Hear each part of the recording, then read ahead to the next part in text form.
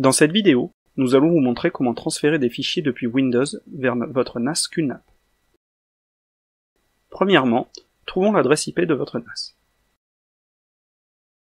Cela peut être fait simplement en lançant QNAP Finder. Notez l'adresse IP.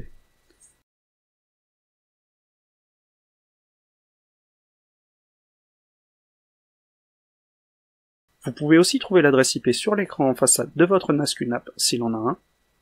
Vous pouvez utiliser le bouton Select de l'écran pour la trouver.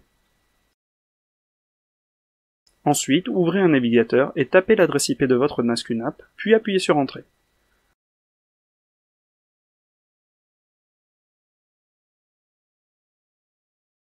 Vous verrez alors les dossiers partagés de votre NAS QNAP. Choisissez un dossier et tapez vos identifiants et mots de passe pour avoir accès à son contenu.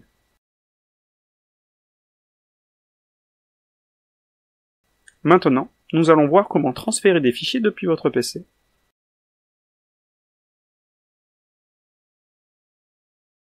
Vous pouvez glisser et déposer depuis le bureau vers le NAS. Vous pouvez faire la même chose depuis le NAS vers n'importe quel emplacement sur votre PC.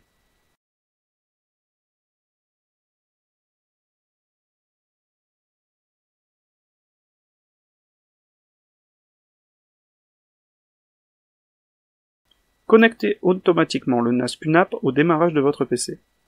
Premièrement, faites un clic droit et choisissez Connecter un lecteur réseau. Ensuite, entrez l'adresse IP de votre NAS QNAP.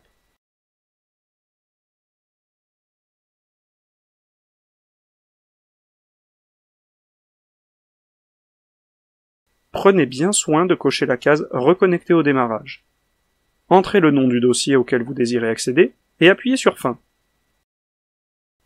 Tout est maintenant prêt. Vous pouvez maintenant échanger des fichiers entre votre NAS et votre PC, et vous retrouverez l'accès à votre NAS à chaque redémarrage de votre PC.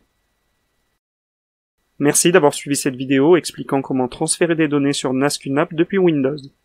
Les vidéos qui suivent vous permettront de découvrir comment transférer des fichiers sous Mac OS X ou directement via navigateur grâce à FileStation.